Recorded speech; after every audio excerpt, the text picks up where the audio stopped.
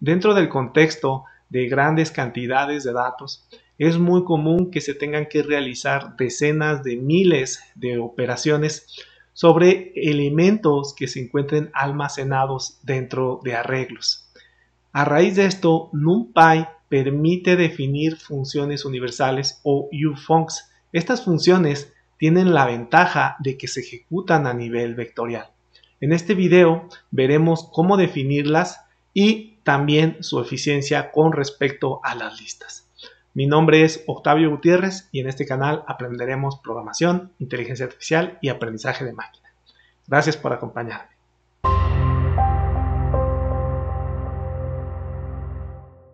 Con el fin de que comprendamos fácilmente qué es una función universal, vamos utilizando algunas de las que ya vienen programadas dentro de Python.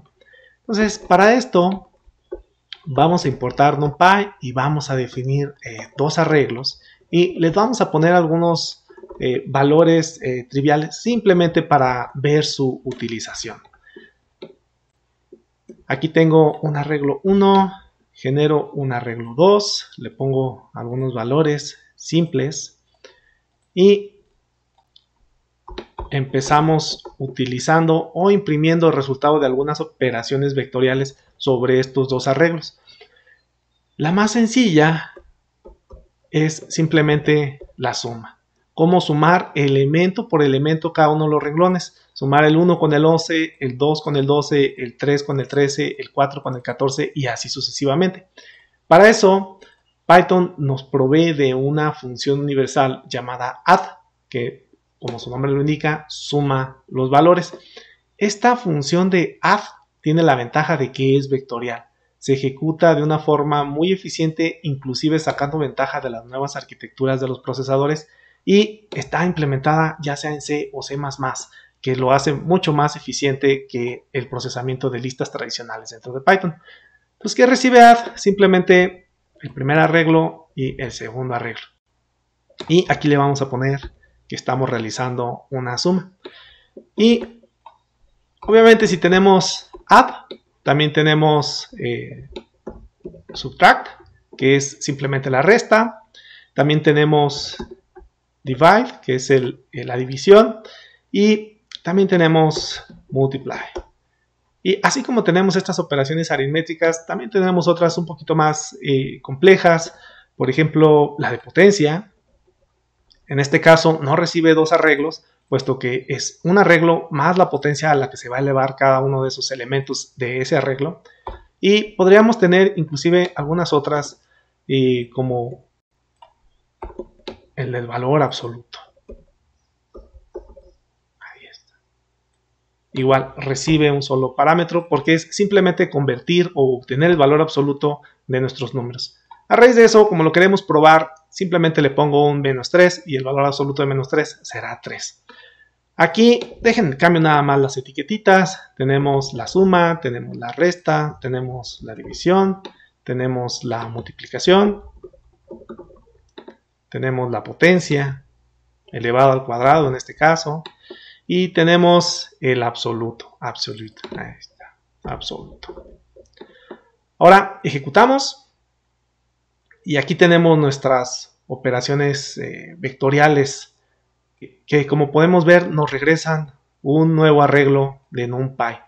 Ahora, más allá de los resultados que son bastante fácil de calcular, aquí la ventaja que tenemos es sobre eficiencia. Eso es lo importante, la eficiencia que nosotros estamos obteniendo dentro de la ejecución de nuestras operaciones.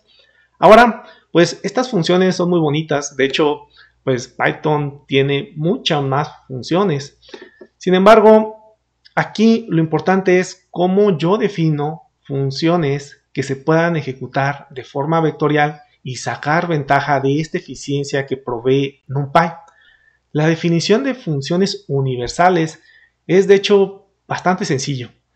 Para esto ya vamos a cambiar a un dominio real para que podamos ver la ventaja y la definición de una forma contextualizada y esto nos va a permitir aterrizar los conceptos. Para eso ya tengo aquí yo dos eh, vectores. Uno se llama altura y otro se llama peso. Estos vectores tienen información de la altura promedio y el peso promedio de diferentes países y tiene una relación 1 a 1. 1.74 significa la altura de un país y 81.4 significa el peso promedio de ese mismo país. Están en un, en un orden. El 1.8 representa la altura promedio del segundo país y el 88.7 representa el peso promedio del segundo país. Entonces, con estos vectores ya no tan triviales, vamos a hacer un cálculo. Y este cálculo nosotros lo queremos hacer de una forma vectorial. Y el cálculo que nosotros vamos a hacer es el índice de la masa corporal, que lo podríamos definir como una simple función. De hecho, vamos definiéndola. Dejen, hago esto un poquito más para acá. Ya está. Ahora vamos a definir calcular índice de masa corporal, recibe dos elementos, recibe el peso y recibe la altura. Y el cálculo del índice de masa corporal es bastante sencillo. Simplemente es el peso dividido entre la altura al cuadrado. Esta es una métrica que normalmente se utiliza para determinar si tenemos o no tenemos sobrepeso. Y es bastante, eh, bastante común. Entonces ya tenemos aquí nuestra función eh, sin embargo, esta no es una función universal. Esta función no se puede ejecutar de una forma vectorial. Entonces, ¿cómo le hacemos para que esta función sea vectorial? Para eso, nosotros vamos a hacer uso de una rutina de NumPy. Esta rutina de NumPy se llama FromPy func y lo que hace es convertir cualquier función a funciones vectoriales, a funciones universales. En este caso recibe como primer parámetro el nombre de la función que nosotros queremos vectorizar. Y noten aquí este mismo nombre, la función resultante que nos regrese numpy from se la vamos a asignar exactamente al mismo, simplemente para mantener una consistencia.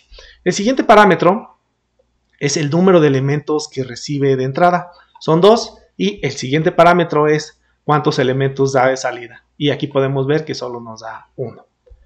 Ahora, ya con eso nosotros definimos nuestra función eh, vectorial, nuestra función universal. De hecho, si nosotros ejecutamos y probamos el tipo de esa función, calcular IMC, cometí un error, calcular IMC, ahí está ahora sí, nos está diciendo que es una función numpy ufunc, una función universal que ahora sí podemos sacar ventaja de las operaciones vectoriales. Y de hecho, la podemos probar de una forma muy sencilla. Simplemente hacemos uso de la función, le pasamos nuestros dos vectores, tanto el del peso como altura, y lo que nos va a regresar es un vector que corresponderá al índice de masa corporal de los datos que nosotros le pasamos. Ejecutamos y aquí podemos ver nuestro resultado. Entonces, como les comento, esto pareciera eh, lo mismo que nosotros tenemos con las funciones tradicionales, sin embargo, no lo es. Esto es mucho más eficiente.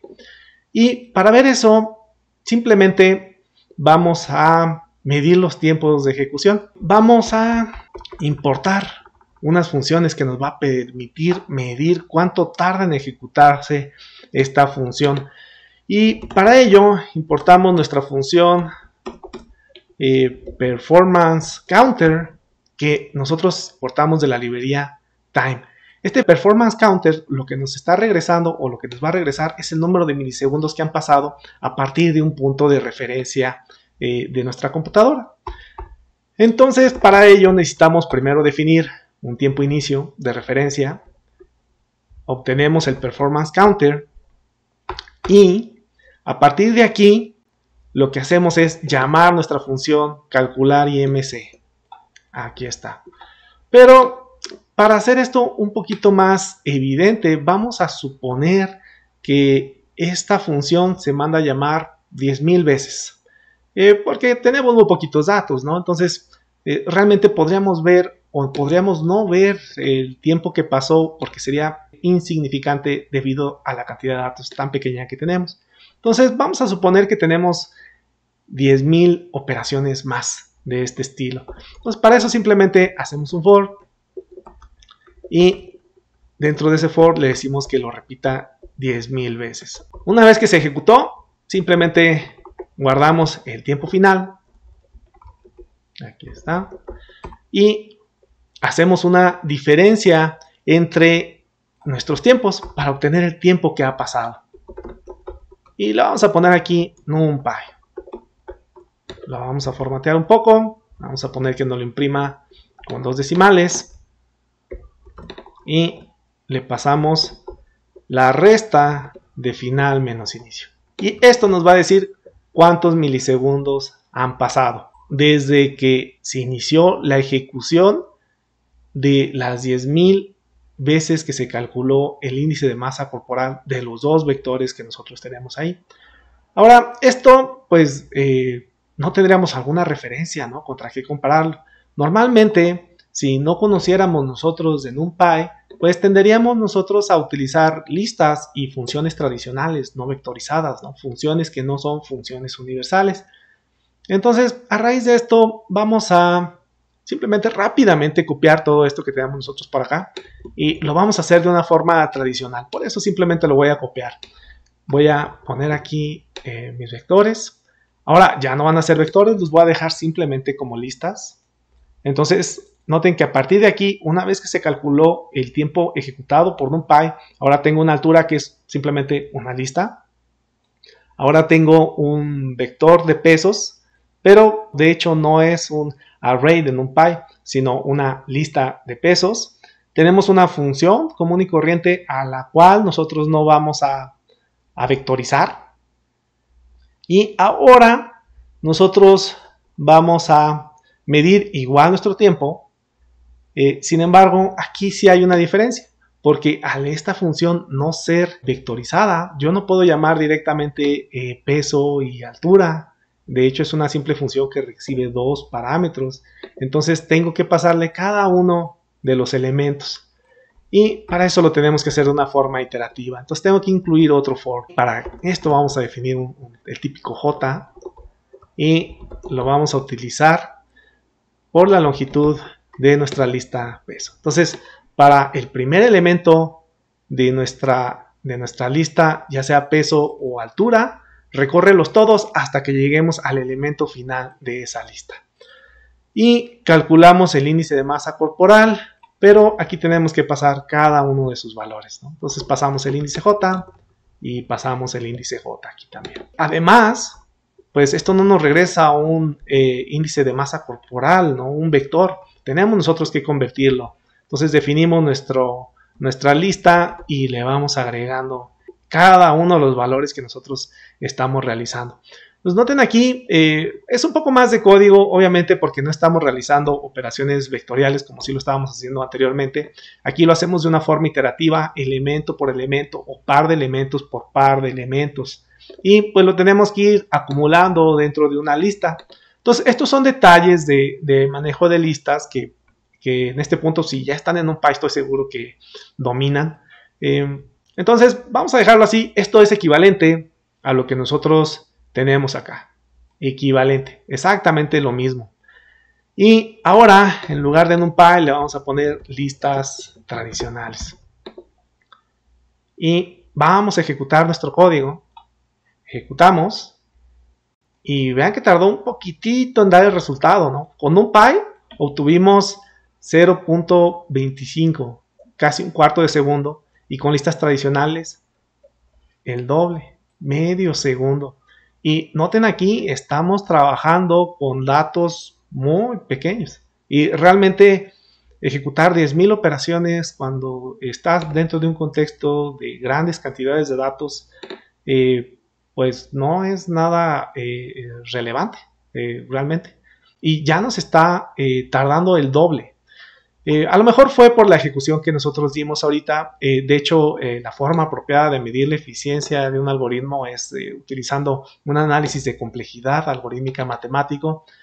sin embargo, con este enfoque de medir los tiempos, nos podemos dar una idea de, de las ventajas que tiene utilizar NumPy y en particular las funciones universales que nos permiten esta ejecución vectorial de la función.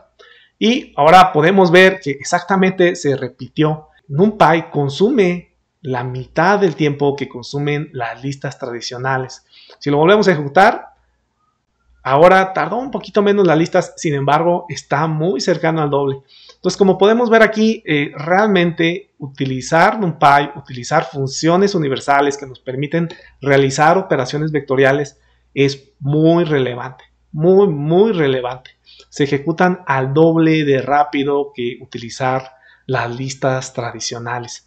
De aquí la importancia de que conozcamos este tipo de herramientas. Espero haya logrado transmitir la importancia de las funciones universales. Si encontraron valor en este video, por favor, denle un like. Si no se han suscrito, por favor, consideren hacerlo. Mi nombre es Octavio Gutiérrez y nos vemos en el próximo video. Ba da ba ba ba da ba da da dum.